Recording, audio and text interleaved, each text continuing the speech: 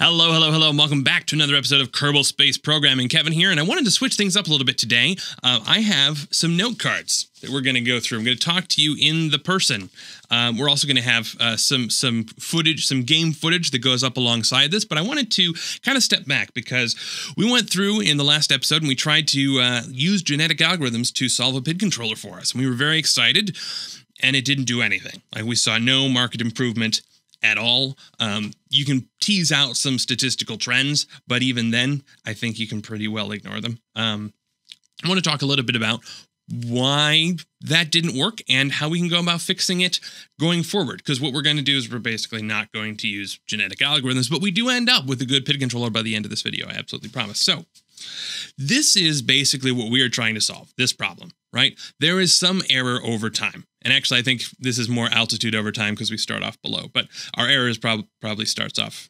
Oh man, what direction are we in? Yes, our error starts off very large. It's because the reverse thing. Our error starts off um, up here, and then we'll drip down and stuff. Um, what we're so eh, we have some sort of altitude that our ship is moving at, and we have some sort of desired altitude, and we're just tracking the difference over time. And so this is basically we have some sort of error, and the idea of this controller is to minimize that error. And over t- and this is an example where basically it's constantly going to oscillate up and down around the target value. Um, but what we're trying to do, and what the genetic algorithm was trying to do, is it basically tracked the the height above and below this curve, uh, the height of the curve above and below the line as often as it could, and it summed all of that up and then gave something a score based on how small that was. So ideally, if something got up to this line and then stayed flat, that'd be a perfect score. You know, the fastest that you can get to that line, and then the mo- the closest you stick there, good good on you. That's what we're trying to optimize, and that's what really we're trying to tune for. So why didn't this work? Well, we can do some hand waving and say, you know, it's possible that there's just not enough that because we had it running for a short enough period of time that there wasn't enough time for the good solutions to really shine above the not so good solutions. And maybe there's too much noise and the physics engine. Doesn't always calculate and blah blah blah blah blah. And so things aren't running with equal blah. There there are some really stupid uh, decisions that we made um, in the design of this. And i've got them listed here. So one twr which is the thrust to weight ratio PID controllers are linear response systems. That means for a given input, there is a output. There is time stuff with the integral and derivative term. But with our rocket, as we burn up fuel, uh, thrusting, setting our throttle to 0.5 is going to do something different. This is not this is a this is a sensitive to sensitive to conditions. And we didn't account for that at all. We just said it'll be fine. The the, the just just you control the throttle and you watch the the velocity. I don't care what your mass is, I don't care what your thrust to weight ratio is. What we could do instead, and what I have done, is have the PID controller adjust the desired thrust to weight ratio and then convert that to throttle. So if we say our available thrust to weight ratio is 5 and you control whatever the desired thrust to weight ratio is, and then we'll say, all right, you said three. We'll say, all right, so the throttle is three fifths, and then we'll just control it that way. Now, in theory, um, the integral term of a PID controller should account for this over time, um, because if we, you know, if if we get things perfect and all of a sudden we start to drift up because we weigh less and so we can thrust we can thrust more the integral term should go hey you're overshooting we, i'm going to exert some downward pressure on the throttle but why why do we have to if, if, we can already account for that there's no reason to make the integral that part of the integral's job the integral's already work, working on stability for the rest of the system Second thing that we did constraints. Oh man, yeah, I got to make sure to put these close because the light is a little too bright. It's washing stuff out. Constraints. Um, stupid thing. the tuning values for a PID controller don't have to be between 0 and 1. They can be any number. Um, I, I knew that at one point. Um, we did only test values between 0 and 1. Now, it's entirely possible that um, because because we were dealing with the throttle output value between 0 and 1, that was very reasonable. But it's entirely possible that it wasn't. We just didn't test a whole possible range of solutions. We didn't let them compete. So, hmm, um, and then third, we were trying to genetic algorithm all of the things. Um, now, genetic algorithms are a really cool solution. They're, they're, it's exciting to see kind of emergent fancy behavior that just appears out of seemingly nowhere. But it doesn't always, it's not always the best solution. And especially in cases where there are means of tuning things, then maybe try those first, or at least apply some domain knowledge um, to fixing those. So, want to talk real quick just to refresh on what, the terms of the PID controller. So you have you have P, right? That's your proportional term, and as we have error, um, you're going to have your proportional term proportional to the amount of error. So while we have a positive error, we're going to go, oh gosh, there's a lot of error. I'm going to throttle up. Again, this is altitude and not air. This is flipped the wrong way. Anyway, um, if we have negative error, then theoretically the proportional control would go to a negative value. It'd be, you know, decelerate, re- reverse thrusters. Um, of course, we don't have the ability to do that, but it would if it could. Um, that's the proportional term. That one's fairly simple, right? You you take the input value, you multiply it by something, and that's your output value.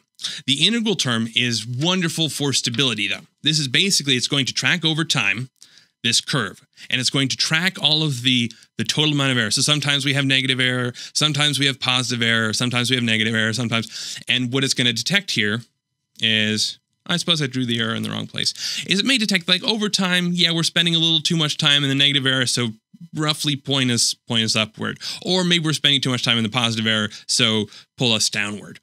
Now then there is the derivative term, the derivative term takes the slope at any point. So as we're looking at the error, we get up to here, and then we end up with the, ah, geez, we end up with a line right there, right? And as we go here, then we end up with a line right there. And that slope is what gets put on here. What the derivative term does is it dampens what the other two parts of the controller want to do if the rate of error is changing very quickly.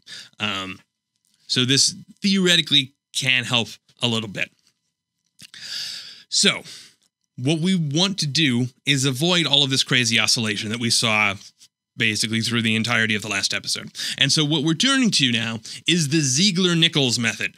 Now, the Ziegler-Nichols method is a tuning method that promises, I don't know, I don't I shouldn't say promises, but it at least reports to offer quarter amplitude decay. And I've drawn this very carefully. You'll notice this goes up four pre-marked things. The next peak goes up one or one quarter of the peak before. This is what it is promising to do for us when there is a change in the input. It's going to go ahead and it's going to say, all right, we will have some oscillation initially, but it is going to dampen itself very, very, very quickly. And that is basically what it is promising to do for us. So how do how does it go about doing this? Well, the Ziegler-Nichols method says turn off your integral and derivative tuning values because those are crazy. And all we're going to do is we're going to tune that proportion of value. And what they want is a stable oscillation, and that's pretty similar to basically what we had here on one of the first one of the first cards. Basically, it just goes up and down, up and down very consistently. So we're going to go ahead and we're going to try that in KSP. All right. So you start off with a very low threshold, and I've gone ahead and I've turned on uh, the debug menu and given myself infinite fuel just because I didn't I didn't want to worry about this thing running out of fuel. I just said we're just going to let this test run until whatever. We're going to start off with some low values and we're going to tune it up and up and up until we get a value that starts to make sense. Now, because we are fighting gravity, um, whereas if you're tuning, I guess, a regular PID controller, you, you're dealing with, in theory, like a zero sum situation. With the low, with the low p value, we're gonna end up with something like this. We may go like, oh, we're supposed to be out there. All right, I'll go up. Oh, I don't have enough thrust, and then we, yeah, we we die off. That is that is too low. Right. So eventually we get to something that almost looks like what we what what we eventually want. It's sort of like quarter amplitude decay. We get to something where it overshoots maybe by a little bit, but then it flattens out really, really, really quickly. Now that may be a great ideal solution, but we're not looking for that right now. We're looking for this ultimate gain that provides that constant oscillation. This is weird because we've been trying to fix that exact problem, and now they're telling us find exactly that number. Just adjust this KP value until you manage to get it to wobble a lot and consistently. We're trying to make it wobble. So, all right. Now, if we overshoot, we're going to end up with something like this where basically it'll it'll undershoot and then all of a sudden it will just go crazier and crazier and crazier and all sorts of out of control. Um, I, I actually had a difficult time actually getting to a value like this um, just because I, I, I don't know. I think there's I think there's some damping. It could just be that there's just not enough time for us to go crazy. But I did find that there was a KP value. I think it was a I think it was like five or six. Um, this is for thrust to weight ratio. That gave us something like this. So we get two things. We have the value that we set, that is the KU value, uh, the, the the ultimate gain, or our, our, what we've said is the KP value in our PID control, and then what it also needs is the time period between those oscillations. So we can measure peak to peak, although in this in my case, I ended up measuring um, uh, crossovers because it just ended up being being a little bit easier. But of course, there is a problem with this, and that is how do we actually measure that? If you look at the launch that is happening right now, thank you, post editing Kevin, um, you'll notice that there is a uh, it's oscillating pretty darn quickly. So how do we know if it's oscillating consistently? How do we know if it's if it's if it's starting to get smaller or if it's getting bigger? How do we know if the time periods are consistent? Well, the time periods we're not going to worry too much about. But here's what I came up with. We could theoretically measure every single peak and trough and then track their variance and try and minimize that. That seemed way too complicated to me. So here's what I ended up doing. So I basically said we're going to measure we're going to measure a couple things. We're going to choose an arbitrary point relatively soon after we change. So we've been throttling up at full throttle and then we say hover immediately. So we go ahead and I say here's here's some cutoff after we've been throttling. I think I said it just like 5 or 10 seconds. And I measured what is the maximum that we've the maximum error that we saw before that cutoff and what is the maximum error that we saw in the 10 or 20 seconds after that cutoff. If those numbers are very similar, then great. We can be reasonably sure that the, that this thing is is stable, that we're seeing roughly a periodic type of type of wave. If if they're not, um, and oftentimes they with the with the low KP values they were not. Um, the second that once we got out here, these were smaller, right? Because this thing got more stable over time. Um, so we saw a significant difference. I finally got to a point where we were seeing very little difference, which was great. And then I can just measure the number of crossovers in the whole experiment time and divide it um, by the total experiment, or take the total experiment time and divide it by the crossovers. And then we get our ultimate period, which is the the additional tuning value. Now, that of course doesn't really help us. Now all we have is a big wobbly thing. But the Ziegler-Nichols method gives us a whole set of tuning values that actually lets us convert from those two values into a KP, a KI, and a KD actual tuning values that we're going to use. So I went ahead, I tested a whole bunch of values until I got something that oscillated. It actually didn't take too long because I didn't even I didn't even step at five very much. I went, all right, let's try one. All right, nope, that good that gets stable. Let's try two. Nope, that gets stable two. Uh, let's try three. Nope, it doesn't. Um, and then eventually we got to a value where it stopped doing that. And I said, all right, that's perfect. Let's go ahead and convert. Let's let's find the values because they're all available as part of a formula. That's wonderful. We can go ahead and they say, hey, if you want to use big control, you have 0.6 of your KU is your KP, and then point blah blah of your KI is your K, yeah, blah blah blah. Just formulas to calculate all those tuning values. I plugged it in, and uh, this is the result. Let's take a look. So we've pulled the values out of the last test, and now it's just time to see if it works. So I have this very simple tuned hover test. We're waiting until RCS so that I can turn on infinite fuel. We're uh, setting our target thrust to weight ratio to zero for now. We're figuring out gravity at our current location by body mu and ship altitude, blah blah blah, because that's going to change based on the on the craft we're on. Um, we're going to grab our max thrust weight ratio, um, as calculated by being our max thrust divided by gravity times our mass, and then we're going to lock throttle to um, target thrust to weight ratio divided by max thrust ratio, but we're also going to ban that at, uh, we're going to cap that at one, obviously, because throttle can't be more than one. Lock steering to up, all this stuff, and then here we have the main loop. So I've got my PID here, Local PID is PID loop, and we've got the KP that it generated, 2.7, a KI of 4.4, and a KD of 0.12. And we're locking in between 0 and the max thrust to weight ratio. And I say, all right, we're to start off, just put our set point at 0, and until forever, If uh, if I hit the RCS, then go ahead and decrement our set point. If I hit SAS, then go ahead and increment our set point. And I'm just going to update our max output um, over time. This is uh, when when we actually do have fuel loss, then our max thrust to weight ratio is going to change, and so we can go ahead and change that max output.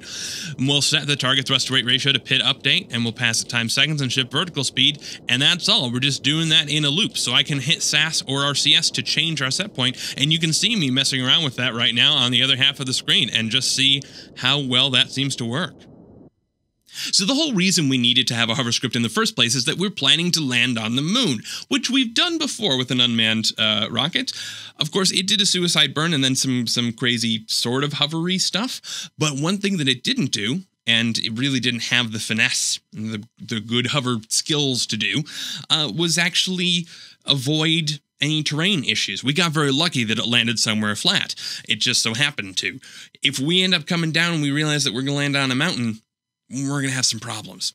So, how are we going to go ahead and figure out if we're going to land on a mountain? Because now we have the ability to hover and we'll have to worry about steering while hovering. But how do we detect that there's a problem to begin with? Well, we can get the terrain altitude for a particular latitude and longitude. That's something we get with KOS we can't get just the slope at a particular latitude and longitude. That doesn't really exist. We're going to have to calculate that ourselves. So really what we want is not, so we, you've got this map, right? It's just out here being whatever it is. And you have some arbitrary point, you know, the, we're, we're up here and down here we know, okay, this is the height. We don't really care about that point. What we really want is a plane, not an airplane, but a flat, like a like a like a plane, like just nah. Imagine this goes out into infinity and cuts off you, I guess. Yes. Now, we need to be able to define this plane because if we have if we if we know that the plane looks like this and we're coming down like this, we can go, hey, you know what? There's a problem. Not only is there a problem, but also maybe the solution to the problem is to go this way and then try and go down, right? Um, as opposed to just going this way or this way, in which case we don't really expect any sort of improvement. If we expect, if we notice that the ground is tilted like this, it's not going to matter if we move in this direction. We want to move in either this direction or that direction. So how do we define a plane? Well, we can imagine that this card extends out to infinity, up and down and side to side, and forward and backward. I can, uh, so moving it side to side and up and down doesn't matter. It's still part of the same infinite plane. Moving it forward and backward does a little bit. So let's go ahead and imagine, we'll define that there's one particular point where we have to keep this plane. So I'm going to say, all right, at some point the plane has to intersect with this point, all right? Well, that's fine. I can go ahead, I can have a plane that goes like this, I can have a plane that goes like this, I can go like this. Any, there, are, there are an infinite number of planes. I can rotate this all around as long as it just makes contact with that single point. So one point is not enough to define a plane. Let's make a line. I'm going to grab, there we go. We're going to define a line, right? So we'll say here. Now I've restricted so this plane has to intersect with this line. Well, that's fine.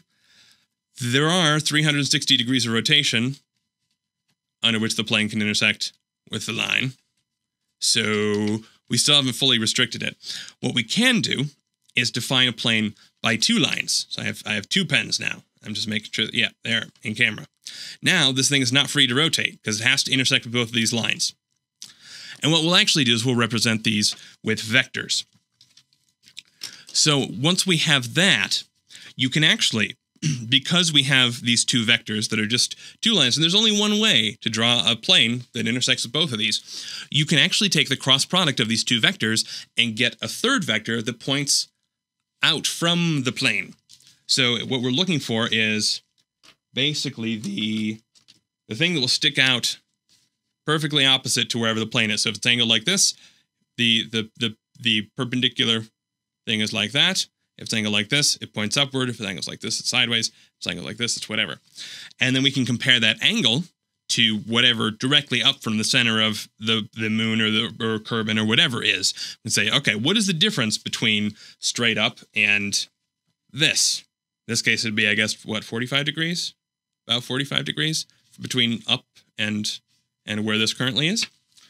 So we're going to go ahead and jump now to my wonderful little testing craft on the launch pad. And we can go ahead and look at latitude and longitudes within a reasonable distance from us. So we're going to take three points and we're going to draw lines between um, between one of them and, and the second one, and then one of them and the third one, and we'll take the cross product to get what the predicted slope is at the place that we're currently hovering over. So I've got some additional code. First, we have a function geo offset, which takes in a geo position and takes a north offset in meters and an east offset in meters. And uh, I kind of stole this from some code I found on the KOS subreddit. By the way, go to the KOS subreddit. It's great. It's going to return us another geo position uh, with that same offset which is basically what we want. So it's taking the latitude from the current geo and then it's adding some some stuff to it, dividing it by body radius and math, um, just to, to basically convert it to another latitude and longitude so we can do stuff. Now I've got a function get plane, and this is going to say, all right, um, center is going to be our geo position plus some meter offset. Um, so you will say get plane um, on the ground based on some offset relative to our ship. So we pass in an X and a Y. It should probably should be a Y and an X, but it doesn't really matter. What I'm going to do then is I'm going to generate three spots. I'm going to generate a spot, which is a geo offset center uh, plus five in one direction, B spot, which is negative five and five and negative five and negative five. We'll go ahead and actually see this on the on the launch pad as well. If we look at A vector and B vector and C vector, these are going to be the altitude position at the terrain height of these spots. So this just gives us um, the specific position on the ground, not just relative to whatever our ship's altitude may happen to be. Um, I've got in here, we're doing some some drawing some vectors. So we're taking these A vectors and I'm just drawing a small little up arrows at all three of those spots just so we'll be able to see them. And then here's where the magic actually happens. We're going to grab the slope because we're by taking the cross product, as I said, of B vector minus A vector and C vector minus A vector. So we're basically just drawing lines between the B spot in the A spot and the C spot in the A spot on the ground. This will make sense when we when we see it, I hope. And I went ahead and said, okay, well, let's go ahead and draw that as well. And then we're just printing out the angle between the slope and the up vector. The up vector is really helpful. We get it, it, it, for free, and it basically just points straight out from the center of whatever body we're orbiting. Um, now I just have, since I'm running this in a in a sandbox that we're using for testing, I have okay, well get plane, and then if I hit action group one, then just increment X, and then say get plane, but move it a little bit away. So increment it by one, and then refresh the the plane, decrement it, and Y, etc. So we can go ahead and move this around. Let's go ahead and take a look at it in the game. So this is my little test craft that I use for testing assorted scripts in a in a sandbox mode. It's got a little cal over here, and then it's just sitting on a probe core, and of course it's got infinite power, which is all that I really need. I'm going to go ahead and hit RCS to enable this job, and here we go. Here's exactly what's going on now. You can see it a little bit more clearly. We are taking our current geoposition. I'm drawing these little these three little triangular spots, and what it is doing is it is drawing vectors between here and between here, and then it's taking the cross product to generate this upward vector. Now the position is just set relative to our craft, but uh, or well, it's it's set relative to the to the center position, um, but it's basing off of these three. And if I start to move this around, so I can increment that x and y offset by hitting action groups one, two, three, and four. You see, and of course it's going to rotate, but the rotation we don't really care about. Here's what starts to get interesting. If I go here now you can see it's thinking, well, yeah, you can see there's a little bit of an angle. Actually, let's pop open the terminal and see what we can see. Now it's actually printing out the angle um, that it thinks uh, this vector has relative to the horizon. So this now it's uh, eight degrees. So that is an eight degree slope that we've got that it's that it's currently dealing with. If we were to try and land right there, um, if we try and land like here, now all of a sudden we're dealing with 16 degrees. It's a little difficult to see uh, with this vector because um, it's because you're dealing with perspective plus stuff, and it's you know we can't exactly track the vector. Um, but there we go. There's there's a terrible angle. That's 25 degrees, and we can go. Yeah, definitely don't try and land there because that would be very very very bad. Um, let's go ahead and center this a little bit more. There we go. Let's and now let's see if we can get this. Actually, let's let's be let's be really evil. Um, now it is drawing, so it is tracking Oh yeah, never mind. That's that's actually perfectly a perfectly fine place to land. Uh, the problem arises if we try and land like over here, 2.54, 8 degrees, 13 degrees, 22 degrees, 25, and all it's doing is it's sampling these ground points in these three positions, and it is basically drawing a plane. If you imagine a triangle that we're drawn between these three, it's drawing uh, a and then you were to put the vector sort of balanced on top of that triangle pointing directly out from the face of the triangle, that is what we're looking at. And we can compare that to directly up and go, hey, that's not a good place to land. So this is what we're going to end up doing to detect stuff. Now you could also expand out um, how far you want these these measurements to be. If we wanted to get a sense of, well, I, I care that in general this is a not a rough terrain. But if we expand out too much, then we run the risk of, yeah, there could be a lot of, you know, crazy spiky stuff in the middle of these three points that we're not accounting for because we're basically treating uh, this as all very, very smooth. So that is it for today. In the next episode, we're definitely going to be working on doing some steering. So having to worry about hovering, but also making some small adjustments to our uh, lateral velocity, trying to cancel it out or add it if we discover that we are coming down over a slope and would otherwise try and land sideways because we don't want to land sideways. Um, if we, depending on how much progress we make, I'm not entirely sure. We'll probably also get the suicide burn stuff done, though we've done that a couple of times, so I think that should go pretty quickly. And then we can test out um, basically going from a from a from a midair to a, a, suicide burn and then to a to a nice slow controlled descent and at that point i think we're probably ready to send uh, probably an uncrewed but uh, send a send a, a craft out to the moon and just see see how it does. So i will hope to see you soon. Well i will hope to see you next week. Be sure to tune in and i will see you then. Cheers